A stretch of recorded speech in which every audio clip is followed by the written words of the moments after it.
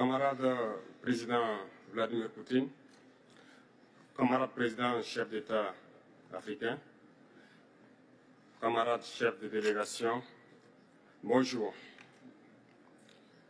C'est un honneur pour moi ce matin donc de prendre la parole ici et de vous passer donc le salut fraternel du peuple du pays des hommes intègres.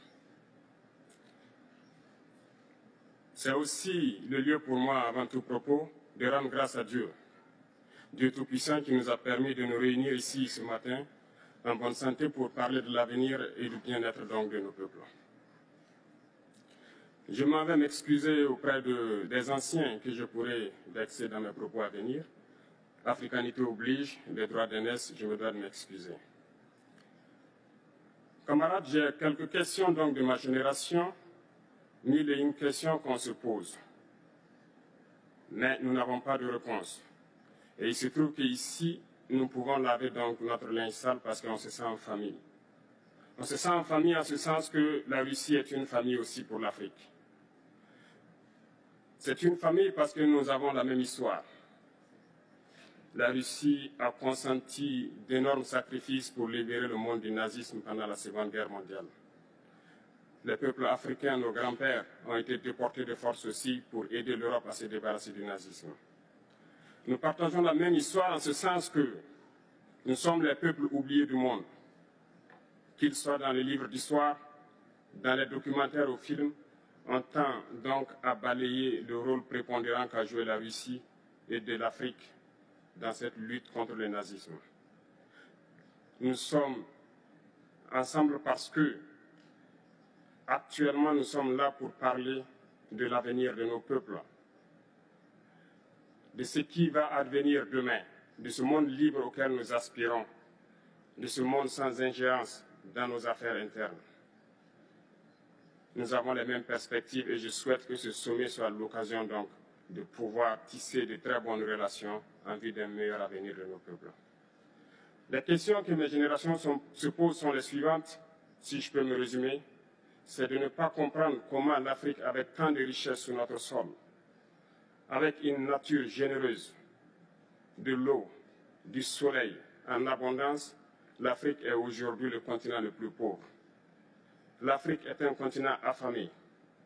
Et comment se fait-il qu'un chef d'État traverse donc le monde à mendier? Voici des questions que nous nous posons et que nous n'avons pas de réponse jusque-là. Nous avons l'occasion de tisser de nouvelles relations. Et j'espère que ces relations puissent être les meilleures pour donner un meilleur avenir à nos peuples. Ma génération me charge aussi de dire que, par ce fait de pauvreté, ils sont obligés de traverser l'océan pour essayer de rallier l'Europe. Ils meurent dans l'océan. Mais que prochainement, ils n'iront pas traverser parce qu'ils viendront devant nos palais pour chercher leur pitance quotidienne. Pour ce qui concerne le Burkina Faso, aujourd'hui nous sommes confrontés depuis plus de huit ans à la forme de manifestation la plus barbare, la plus violente du néocolonialisme, de l'impérialisme l'esclavage qu'on tend encore à nous imposer. Nos dévanciers nous ont bien appris une chose. L'esclave qui n'est pas capable d'assumer sa révolte ne mérite pas que l'on s'apitoie sur son sort. Nous ne nous apitoyons pas sur nos sorts, on ne demande pas que quelqu'un s'apitoie sur notre sort. Le peuple burkinabé a décidé de lutter, de lutter contre l'île terroriste en mesure de relancer son développement.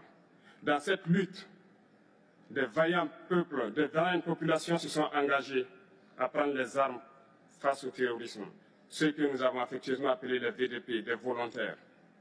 Nous sommes surpris de voir les impérialistes traiter ces VDP de milices et de tout type.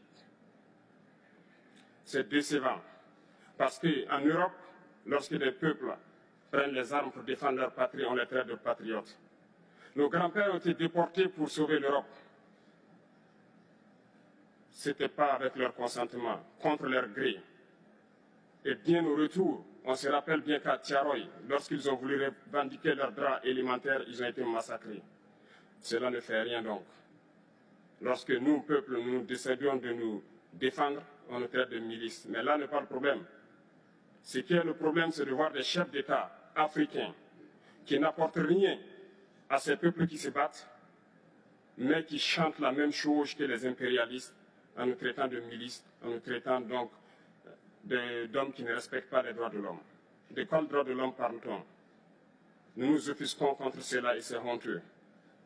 Il faut que nous, chefs d'État africains, nous arrêtons de nous comporter donc en marionnettes qui dansent à chaque fois que les impérialistes tirent sur les ficelles. Hier, le président Vladimir Poutine a annoncé l'envoi des céréales en Afrique. Nous sommes bien contents. Nous lui disons merci pour cela.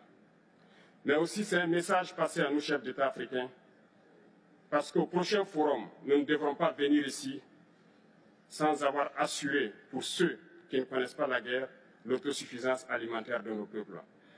Nous devons prendre l'expérience de ceux qui ont pu déjà atteindre cela en Afrique, tisser de bonnes relations ici et tisser de meilleures relations avec la Fédération de Russie pour pouvoir assouvir les besoins de nos populations. Je ne serai pas peut-être long, le temps imparti est très court. Nous sommes obligés de nous arrêter à un moment donné. Mais je voudrais terminer en disant que nous devons donc rendre hommage à nos peuples, à nos peuples qui se battent. Gloire à nos peuples, dignité à nos peuples, victoire à nos peuples. La patrie ou la mort, nous vaincrons.